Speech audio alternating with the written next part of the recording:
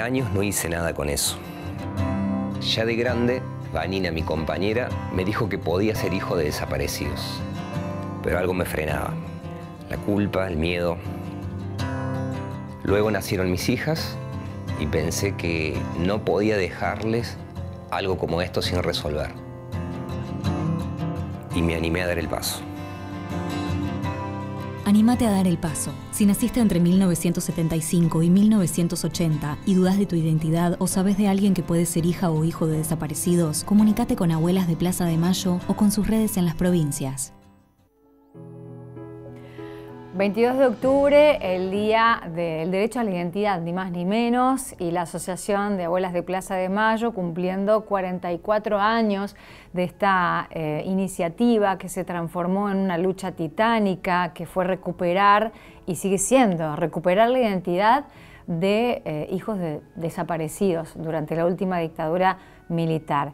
Se restituyó hasta el momento más de 130 identidades eh, y vamos a hablar con el nieto recuperado 122, pero sigue mucho trabajo por hacer, quedan 300 personas para recuperar su identidad aproximadamente, la incansable lucha de Abuelas de Plaza de Mayo continúa, reforzada por hijos y diferentes agrupaciones que van acompañando esta gesta, como decíamos, titánica que, no frena, porque sigue habiendo muchas familias que, como el caso que acabamos de ver de José Bustamante García, mm, tiene que transcurrir el tiempo para que se dé la maduración interna, interior y las condiciones para avanzar hacia la búsqueda de la verdadera identidad.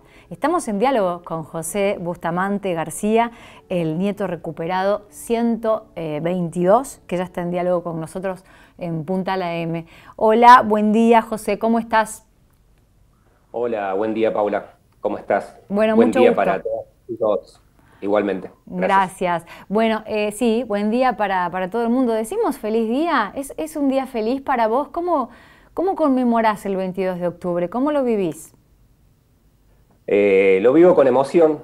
Eh, me trae muchos recuerdos y lo vivo también con, esto y de paso les agradezco a, tu producción y a vos, el programa, de darnos este espacio para, para intentar difundir, que como bien dijiste,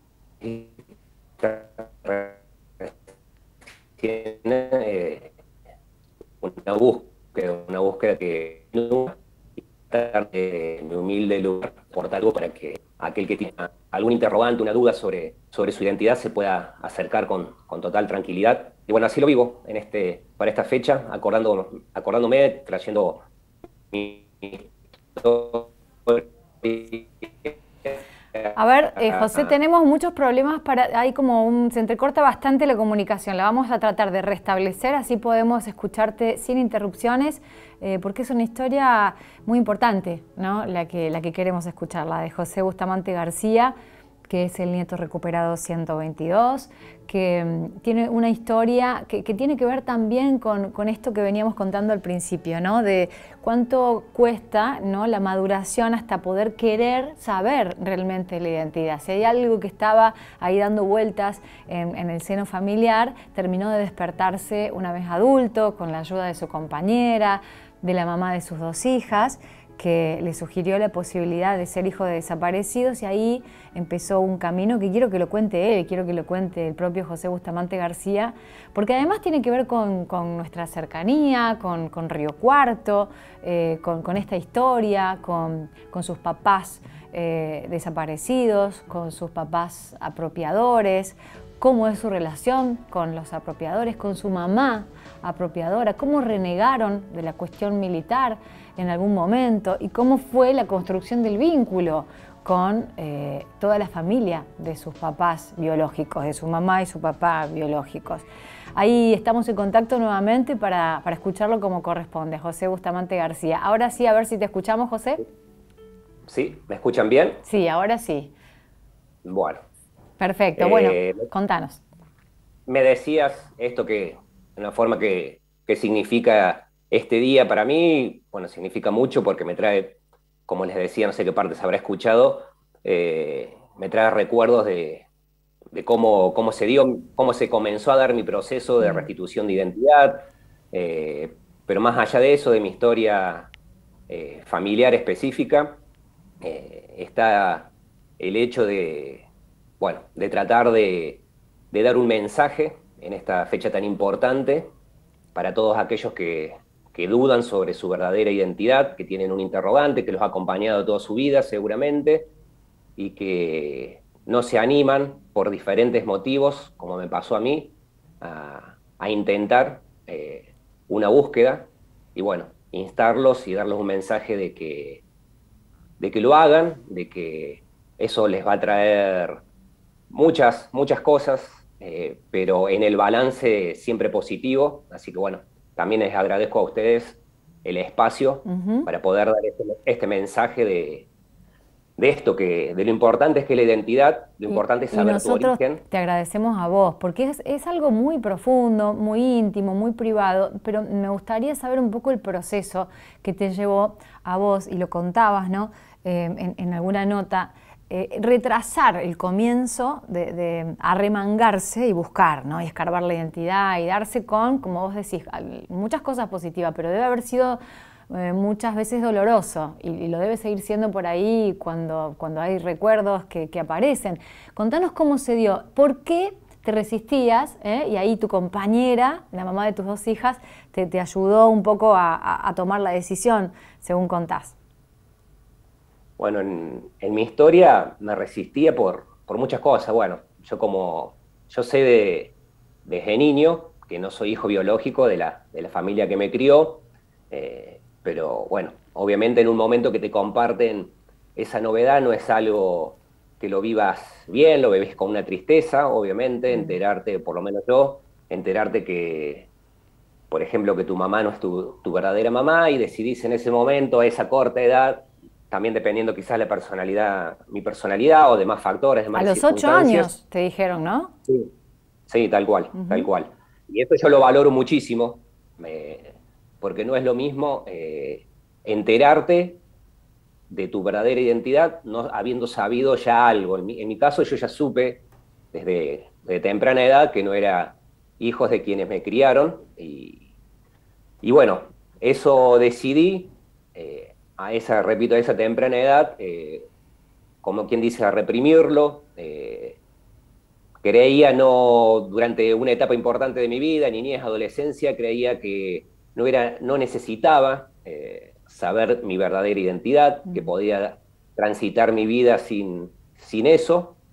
Y bueno, conforme vas creciendo, te va haciendo, en mi caso me fue haciendo más ruido eh, eso, pero, pero por diferentes factores que tenían que ver con una protección hacia mi familia de crianza, eh, cuestiones personales, de entornos y demás, que hacían que yo no tomara la decisión para intentar eh, saber cuál era mi origen, que podía ser eh, una posibilidad, ya avanzada mi adolescencia, que lo empecé a pensar como una posibilidad que mi origen estuviera relacionado con el terrorismo de Estado, con la última dictadura cívico-militar, pero en definitiva tampoco tenía precisiones sobre eso, también podía provenir, eh, mi origen podría estar relacionado con lo que era la trata de personas, que por aquellos años, justamente por el descalabro que se vivía en el Estado mm. eh, existía mucho, existía antes de la dictadura, sigue existiendo hoy, eh, así que también podría estar por ese lado, pero es cierto, como, como bien citabas, que,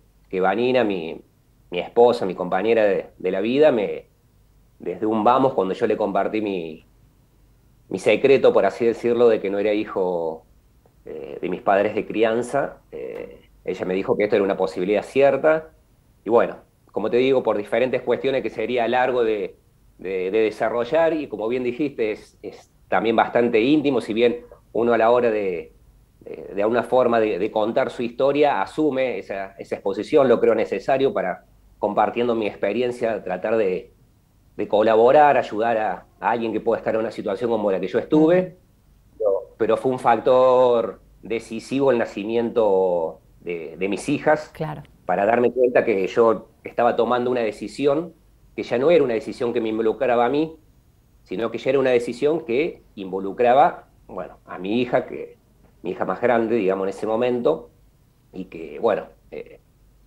ya, ya eh, eh, digamos, por así decirlo, los involucrados en mi decisión ya no era mi familia de crianza y yo, sino que ya era mi hija. Tu descendencia. Tal cual, tal cual. Y, bueno, y, tenía muy claro eso de, vivirlo también como una culpa, de qué hago, eh, encaro hacer algo, bueno, y a pocos, a pocos meses de ser padre, eh, recibo un, llamado del equipo de acercamiento de, Abuelas de Plaza de Mayo, filial Córdoba, y, bueno, eh, diciendo que habían aportado datos eh, anónimos, digamos, eh, de que yo podía ser hijo de desaparecidos. Obviamente, a través de ese contacto, ya me di cuenta de que lo que yo pensaba como una posibilidad, entre, entre otras, podía ser una certeza, si había. Pero eran denuncias anónimas, no había un proceso judicial, ni mucho menos. Y era, bueno, preguntarme a mí en esa experiencia que yo pensaba, que qué datos yo también podía acercar con respecto a eso.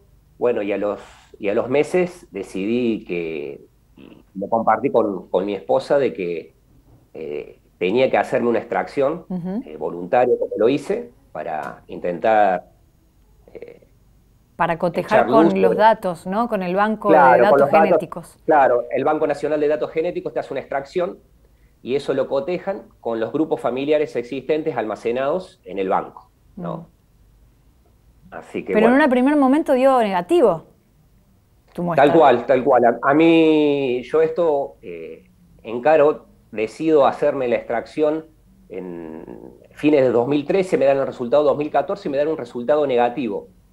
Eh, ahí tengo que explicar un, poco cómo es la, cuestión que en mi grupo familiar, mi verdadera familia, eh, Bustamante García, es un grupo familiar que lo que quienes trabajan en el banco lo llaman un grupo familiar incompleto. ¿Por qué? Porque mi papá eh, no tuvo hermanos, sus padres fallecieron y en el caso de mi papá tuvieron que recurrir a una muestra de un tío abuelo mío. Y en el caso de mi mamá sí, tuvo hermanos, entonces hubo muestras de, de, mis tíos y con la, con la forma de trabajo y con los marcadores genéticos que existían, con los que trabajaba el banco, eh, allá por principio del año 2014, no se podía establecer, en ese primer cotejo que se intentó hacer, no se podría establecer con el grado de certeza que se necesita eh, mi, filiación. ¿Qué pasó? Pasó el tiempo, transcurrió el tiempo, hubo avances en la, en la genética forense a nivel mundial, el Banco Nacional de Datos Genéticos va incorporando esos avances, y bueno, en el año 2017 me, me llega otro llamado telefónico, en este caso para decir de que había, había, dado, había arrojado un resultado positivo, un cotejo. Mm. Ocurre que en el año 2014 los marcadores genéticos utilizados eran 15, no quiero aburrirlos con un tema técnico, pero bueno, más o menos así. Y en el año 2017 ya pasaron a 24. Entonces, a partir de ahí lo, que, lo que extraigo de esto, y uno no deja de resaltar, es el trabajo permanente, digo, porque ¿no? esa muestra negativa, con todo lo que eso significa, bajar los brazos, eh, ¿no? para cada familia, para cada individuo en este proceso, eh, dio negativo y después, pasado tres años, volvieron a cotejar, o sea, no dejan de trabajar en la búsqueda de recuperar la identidad, y ahí es cuando te avisan, en 2017 es que te avisan que la muestra dio positivo y que eh, eras hijo de desaparecidos.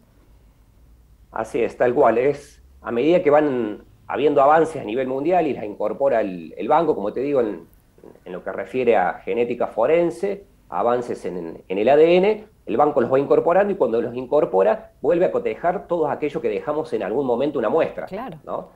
Eh, entonces, eh, bueno, pasa eso, es decir, quizás alguien que le dio negativo en un momento, en algún momento le puede dar eh, positivo por esto, por depende de los casos particulares cada uno, cómo esté formado el grupo familiar de quienes se hayan podido extraer muestras eh, y bueno, para poder obtener el resultado que, garantice de la certeza a todos de que, hay un vínculo filiatorio natural, biológico en este caso. Pero, em, Por eso la importancia de hacerse la muestra, ¿no? de madurar la decisión, de, trabajarla, el acompañamiento es fundamental. En tu caso, más allá de, tu pareja, ¿cómo fue eh, ese trabajo, ese acompañamiento respetuoso, tengo entendido, por eh, la Asociación de, Plazas de, Abuela de Plazas de Mayo? ¿Cómo fue ese proceso? ¿Cómo lo viviste? Y me gustaría que hagas una referencia a la relación que tuviste con los apropiadores, ¿cómo le decís vos? A tu familia de crianza y con la familia de... crianza.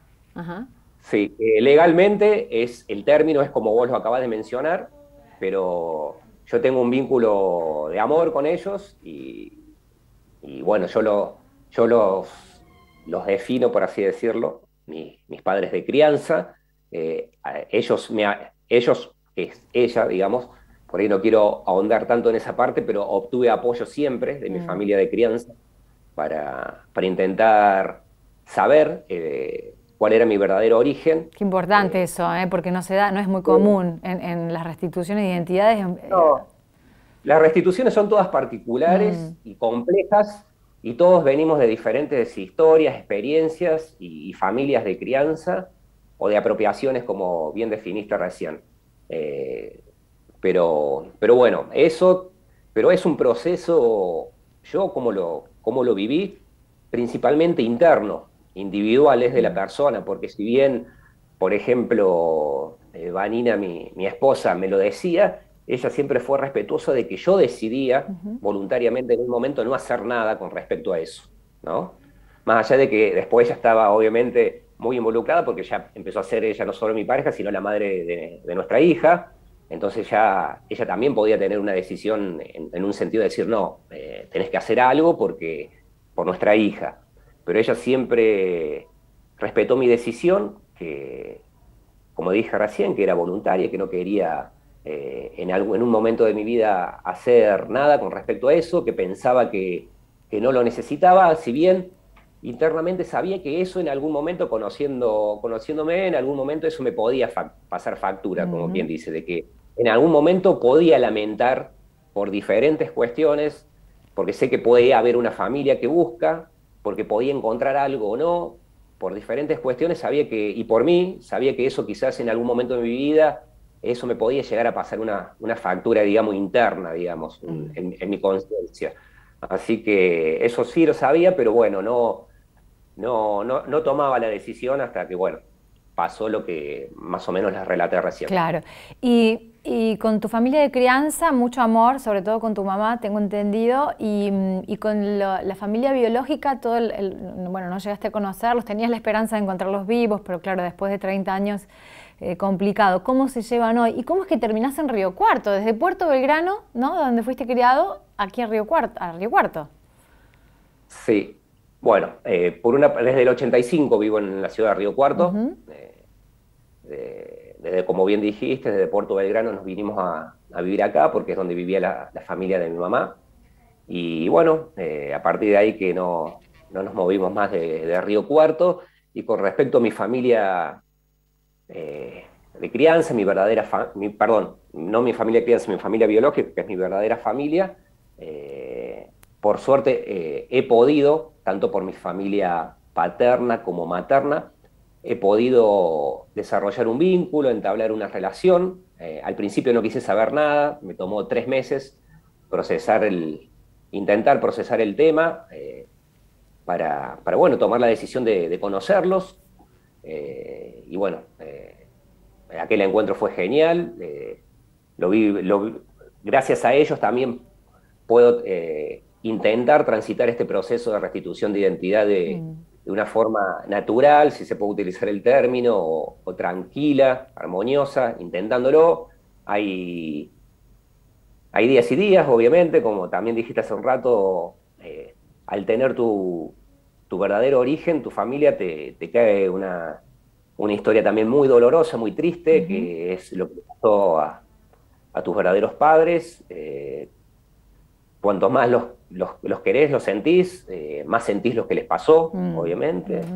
y, bueno, entre todo eso, con un montón de cosas, pero con, el apoyo de, mis dos familias, como quien dice, eh, junto con, mi esposa y mis hijas, intentamos eh, transitar este proceso, que lo digo siempre, que está, es un proceso, como la construcción de identidad de, cualquiera de las personas es un proceso, no es algo estanco, sino que se va, va cambiando, ¿no? se va modificando, más cuando, cuando sabes tu, verdadero origen y estuviste transitando 39 eh, años, en mi caso, de mi vida, sin, saberlo, ¿verdad? Mm. José, te agradecemos mucho eh, esta, esta, apertura en este momento, en este día especial y, parte, parte de tu historia. Muchas gracias por, por ayudar eh, a esto, ¿no? a tomar conciencia y a, dar el primer paso, que, cuesta, que, duele, pero que después eh, trae todo esto que contás vos y que hace bien. Muchas gracias. Si me permitís un, un minuto. Por favor. para, bueno, para agradecerles a ustedes por el espacio, como ya, ya les dije. Y esto que, vinculado a la última de, tus preguntas de, con respecto a abuelas, cómo había sido, bueno, eh, todo el proceso con respecto al vínculo con abuelas fue genial. Mi familia y yo vamos a estar eternamente agradecidos con ellas, eh, con, su lucha, con todo lo que han hecho, por el respeto, porque este el mensaje también quiero dar a, todo aquel que tenga una duda, que después, eh, si logra saber su, su verdadera identidad, a ese proceso cada cual lo vive como puede, con total libertad, con, con respeto de todas las partes involucradas, y nunca yo hice nada que no quisiera hacer en los tiempos que yo no quisiera hacerlo. Es decir, lo viví con total libertad, con total tranquilidad en lo posible, con todo lo irruptivo que es obviamente esto en la vida de cualquiera, pero el mensaje que le quiero dar a, cualquiera que esté dudando es, es, eso, que se acerque y que cada cual lo vive como puede, como quiere, en sus tiempos, y no hay obligación eh, de nada y, eso. Te mandamos un abrazo. Gracias, José Bustamante García. Gracias a ustedes. Hablábamos con el nieto recuperado 122, que desde 1985 vive en la ciudad de Río Cuarto, que fue criado en Puerto Belgrano, en Buenos Aires, pero sus padres de crianza, sus apropiadores, eh, le manifestaron ¿no? la condición en la que eh, fue criado a los ocho años y tiempo después despertó en su conciencia, junto con la ayuda de su compañera, la necesidad de averiguar más, de acercarse, de tomarse una muestra, de entregarla al Banco Nacional de Datos Genéticos y de la mano de abuelas de Plaza de Mayo, eh, darse con su verdadera identidad, darse la oportunidad de hoy, por ejemplo, llamarse José Bustamante García, tal su verdadero nombre, el nombre de sus padres biológicos desaparecidos durante la última dictadura.